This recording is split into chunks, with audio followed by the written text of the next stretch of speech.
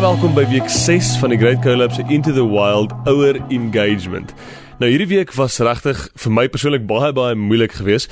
Ons het met die kinders bietjie regtig diep gepraat en hard gepraat oor oor die realiteit van die dood wat 'n sekerheid is. Die feit dat ons ons lewe op aarde um maar fleeting is en en binnekort gaan gaan eindig. Um en en, en al leef jy 'n vol lewe op aarde is nie eintlik baie lank nie. En en dit het ons vir hulle regtig diep uitgedaag oor wat doen jy met hierdie kort lewe van jou? En en is dit wat jy mee besig is iets wat ewigheidswaarde het? En en die realiteit soos wat jy net so goed as ek ken as jy 'n volgeling van Jesus is is dat net om mense aan Jesus bloot te stel en bekend te stel en en hulle in die Jesus lewe in te nooi het eintlik op die ou ende ewigheidswaarde.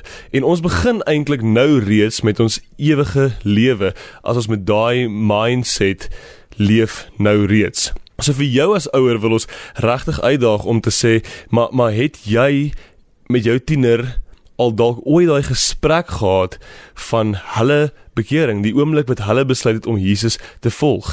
Het jy al ooit met hulle die evangelie gedeel, die feit dat Jesus Christus vir hulle gesterf het? En is jy seker of jou kind regtig met passie daai glo? Want dit is nog jou verantwoordelikheid, net soos wat ons vir tieners gesê het, hulle verantwoordelikheid is om die evangelie met hulle vriende by die skool en met wie ook al in aanraking kom, die evangelie te deel en seker te maak die mense rondom hulle verstaan wat Jesus vir hulle kom doen het. So is dit dan jou verantwoordelikheid om te sê maar verstaan my kind dit. So gaan sit met jou kind en dit gaan dalk moeilik wees vir jou en awkward dat jy dit nie gedoen het nie en vra vir hulle om jou te vertel hoe hulle tot bekering gekom het en om dalk die evangelie met te deel. Wat verstaan hulle wanneer hulle hoor evangelie? Wat verstaan hulle as hulle as hulle hoor ek glo in Jesus? Wat beteken dit vir hulle om in Jesus te glo? En dan twee vrae vir jou dalk as ouer om net oor te reflekteer is: Wat is vir die belangrikste ding in jou tiener se lewe? Is is dit dat hulle vir Jesus ken en dat hulle 'n ewigheid saam gaan spandeer of is daar ander dinge dalk wat vir jou belangriker is as die dinge wat vir ewig hou. Want onthou enige beroep, enige ding wat hulle verder met hulle lewens doen, is maar tydelik.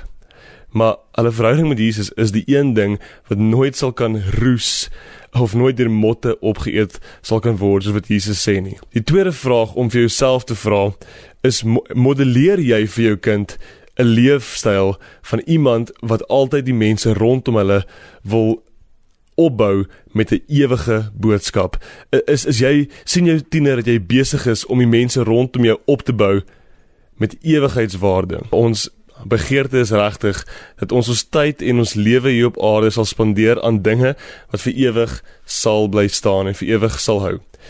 Vir jou as ouer wil ons regtig dankie sê dat jy saam met ons engage het vir 6 weke en dat jy genoeg omgee oor jou tiener om hierdie moeilike vrae met hulle te bespreek. Ons gebed vir julle is dat jou verhouding met jou tiener sal groei en dat jou en jou tiener se verhouding met God daagliks sal dieper en dieper word. As jy enige van die weke gemis het, kyk dit saam met die tiener, jy sal nie spyt wees nie. En tot volgende keer mag jy en jou tiener waarlik 'n avontuurlustige lewe in die wild leef.